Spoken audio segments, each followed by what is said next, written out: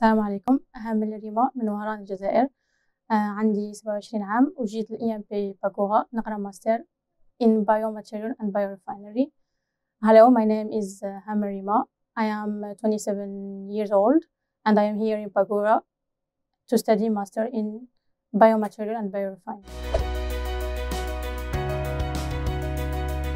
I came from petroleum rich country and I always want to know more about uh, biomaterial and what we can get from biomass.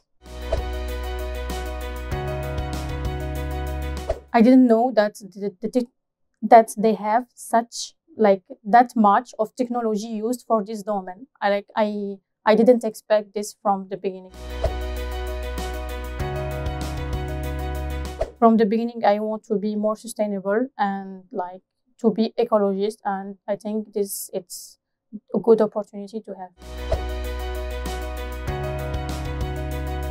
I didn't know before that in Grenoble there is three mountains, and I like I really like this, and also the snow.